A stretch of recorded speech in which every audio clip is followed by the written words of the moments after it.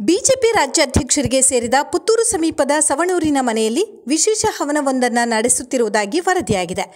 ಸುಮಾರು ಒಂಬತ್ತು ದಿನಗಳ ಕಾಲ ವಿಶಿಷ್ಟ ಹವನ ನಡೆಯಲಿದ್ದು, ಜೂನ್ ಹನ್ನೊಂದರಂದು ಪ್ರಾರಂಭವಾಗಿದ್ದು, ಜೂನ್ ಹದಿನೆಂಟರವರೆಗೆ ಈ ಹವನ ನಡೆಯಲಿದೆ ಎಂದು ಮೂಲಗಳಿಂದ ತಿಳಿದುಬಂದಿದೆ ನಿರಂತರ ಒಂಬತ್ತು ದಿನಗಳ ಕಾಲ ನಡೆಯುತ್ತಿರುವ ಈ ಹೋಮದ ನೇತೃತ್ವವನ್ನು ವಿದ್ವಾನ್ ಬಾಲಕೃಷ್ಣ ಕಾರಂತ್ ಅವರು ವಹಿಸಿದ್ದಾರೆ ಎನ್ನಲಾಗಿದೆ.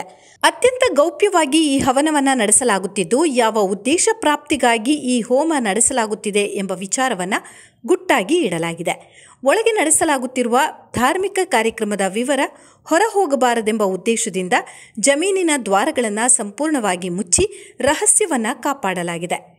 ಇದು ಸ್ಥಳೀಯರಲ್ಲಿ ತೀವ್ರ ಕುತೂಹಲಕ್ಕೆ ಕಾರಣವಾಗಿದ್ದು, ಧಾರ್ಮಿಕ ಕಾರ್ಯಕ್ರಮ ನಡೆಯುವಾಗ ಅಕ್ಕಪಕ್ಕದ ಮನೆಯವರಿಗೆ ಹಾಗೂ ನೆಂಟರಿಷ್ಟರಿಗೆ ಹೇಳಿ ಮಾಡಿಸುವುದು ವಾಡಿಕೆಯಾಗಿದೆ.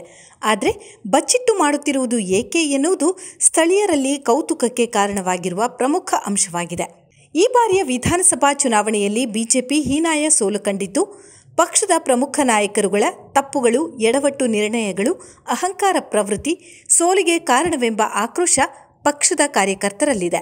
ಪಕ್ಷದ ನಾಯಕತ್ವದಲ್ಲಿ ಅಮೂಲಾಗ್ರ ಪರಿವರ್ತನೆ ಮಾಡುವ ಮೂಲಕ ಪಕ್ಷವನ್ನು ಲೋಕಸಭೆ ಚುನಾವಣೆಗೆ ಸಿದ್ಧಗೊಳಿಸಬೇಕು ಎಂಬ ಆಗ್ರಹ ಕಾರ್ಯಕರ್ತರ ವಲಯದಿಂದ ಕೇಳಿಬರುತ್ತಿದೆ.